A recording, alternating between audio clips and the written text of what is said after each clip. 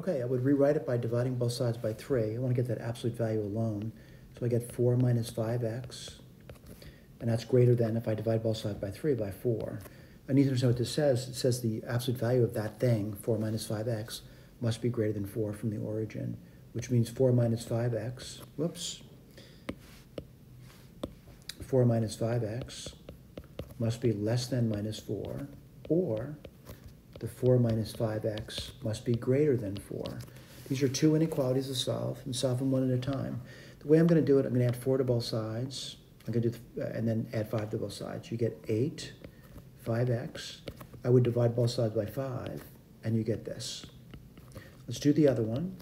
I'm gonna add five x to both sides and subtract four, and what do you get? You get this. Then what I'm gonna do, I'm gonna divide both sides by five, and I get this. I put a number line down. On the number line, I put the uh, numbers of interest, and there's two numbers. One of the numbers is zero, the other number is eight fifths. Now, what do I know about x? Well, I'm reading it. It says x is greater than eight fifths. I'll shade that in over here. Or, was the other one say? x is less than zero. So let's write this down. You got an interval. The interval is going to be minus infinity up to zero. Don't touch it. Union, eight fifths off to infinity. Put a box on it.